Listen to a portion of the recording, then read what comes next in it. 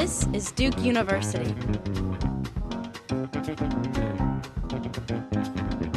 So my adventure into uh, this field of research called behavioral economics or decision making uh, started many years ago when I got uh, burned in an explosion, and uh, following that I spent about three years in in hospital. And one of the worst things that happened in the burn department is the bandage removal process.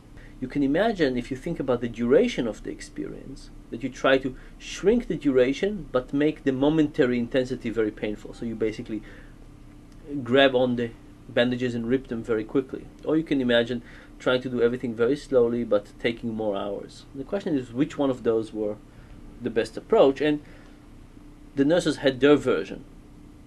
They thought that the best way was to grab hold of the bandages and rip them quickly and then go another one and rip it and so on. Uh, and I felt I, they were wrong, uh, but of course being a patient, you know, I didn't have much uh, control over it. So my first experiments were really on this area where I would bring people to the lab and I would hurt them in different durations and different intensity intensities and I would ask them how painful it was, which one they will choose and kept on doing this. Now the interesting thing was that uh, my intuitions were correct and the nurses were wrong. And I started looking more broadly from pain to other things as well uh, that have these characteristics of being wrong despite having a lot of experience. And that's basically what I do today. One of the things I always wanted to do was to have fun experiments that are not just fun for me but also fun for the participants. Uh, for example, uh, we've been starting to use beer as part of uh, what we're studying.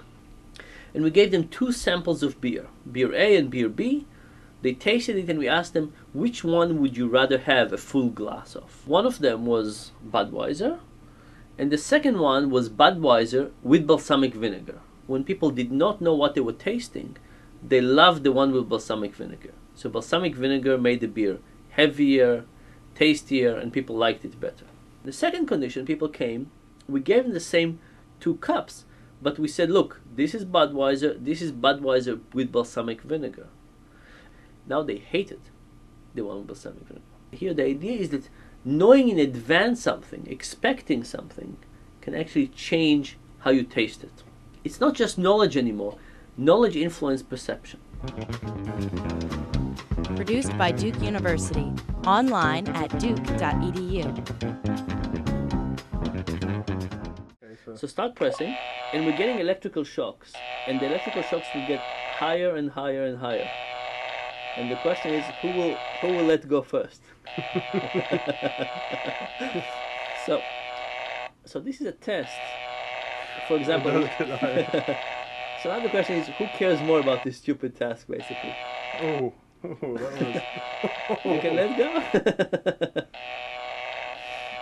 What we hope to do is we hope to give this task to couples and see how they're trying to punish each other. okay.